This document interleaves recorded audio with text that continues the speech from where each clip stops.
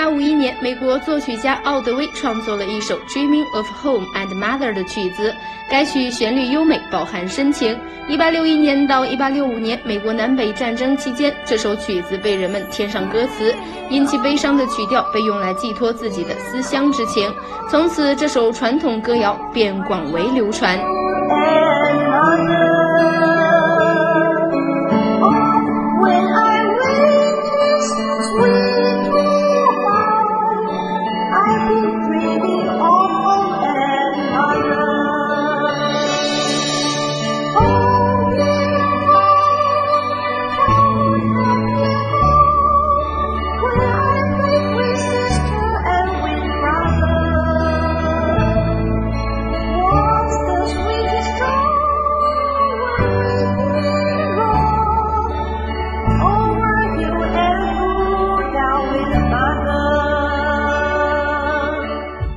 歌曲流传到日本后，日本音乐家犬童球希以原歌的曲调创作了日文歌词，并取名为《旅愁》，于一九零四年发表后，在日本广泛流传。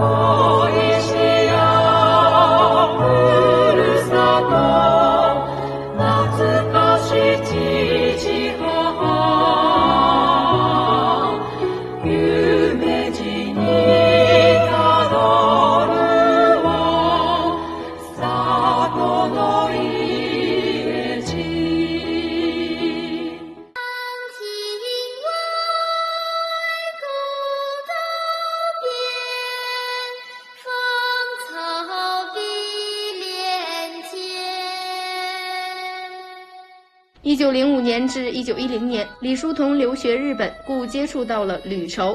他被这首歌曲的优美旋律所打动，产生了创作灵感。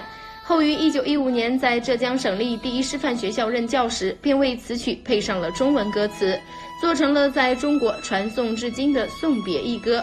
由于送别在一九八零年代后流传甚广，以至于所有人都认为李叔同是原作曲者，后此曲更是被翻唱无数个版本。朴树说：“一生能写出这样的歌词，死而无憾。”天之涯，地之角，知交半零落。一壶浊酒尽余欢，今宵别好看视频，轻松有收获。